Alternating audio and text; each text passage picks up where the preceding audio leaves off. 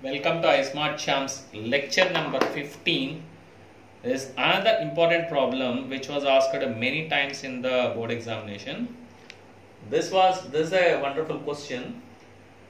M is equal to tan theta plus sine theta and n is equal to tan theta minus sine theta and show that m square minus n square is equal to 4 root mn and this is the problem very important. Please note down the question i'll solve the answer later. I'll give a pass. And please note down the question. You can stop the video and note down the question. Yeah we can clear this. Fine. And now what? How to eliminate theta? The thing is tough is that we use the identity tan square theta minus sine square theta is equal to tan square theta into sine square theta. You can see my earlier lectures how, it did, how did I prove this. You just take the common tan square theta as common, you get tan square theta times 1 minus sine square theta by tan square theta, sine square theta by tan square theta is cos square theta, that's tan square theta into 1 minus cos square theta is again 1 minus cos square theta sine square theta when we replace that tan square theta times sine square theta that you can see in one of my videos and now here what I need is this solution I need. So what are given to me is m is equal to tan theta plus sine theta. And n is equal to tan theta minus sine theta. And so what I do is I'll add up these two.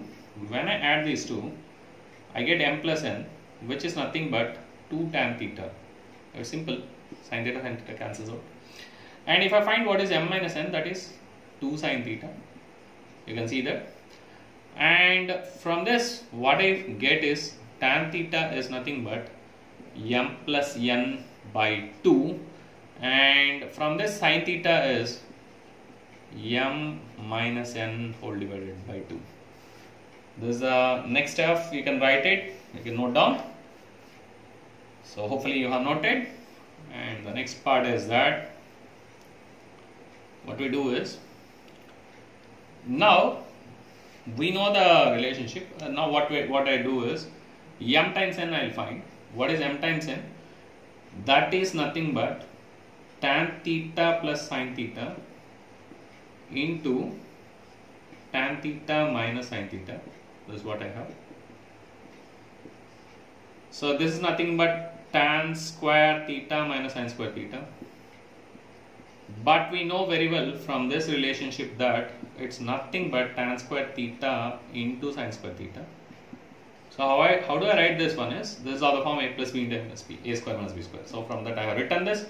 And hence what is tan theta? I just got m plus n by 2 I can substitute over here that square. And again sine theta is m minus n by 2 and square. That's how I'll eliminate. Almost we're done. And now from here I can very well write this one over here. I mean this this thing over here that is m plus n by 2 into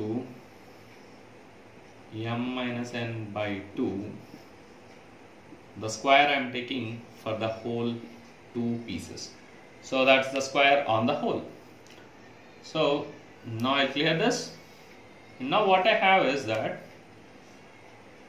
this one is again of the form a, a plus b into a minus b. And again I'll remove the square. So when I remove the square I get root mn. So here m plus n into m minus n is again m square minus n square. Whole divided by 2 times 2 is 4 and hence our eliminate you can see that m square minus n square is equal to 4 root mn hence our answer one of the tough problem to handle in trigonometry. The answer. End of lecture. Now.